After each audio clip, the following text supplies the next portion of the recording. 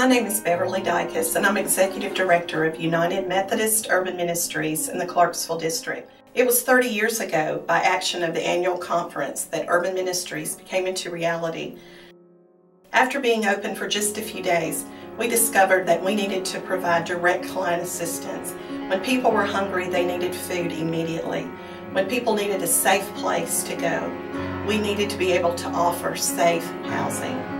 One of the ways that we've seen our ministry have an impact in the community is hearing feedback from those we serve, from those who are homeless on the street, to saying that Urban Ministries is a place where they can come to get away from the chaos, to get away from the violence, where they can get off the street and come to a safe place where they can sit and they can rest and where there's someone there to not only listen but to offer an encouraging word of hope.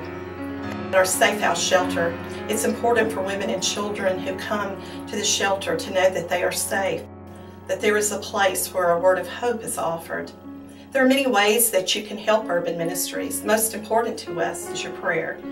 Another way is by volunteerism. Our Grace Assistance Program is staffed entirely by volunteers from the community.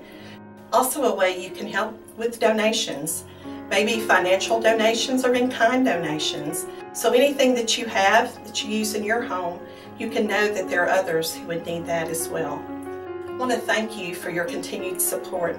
Urban Ministries would not be here today without the love and the support and the prayers of our Tennessee Annual Conference and all those who make this mission a reality.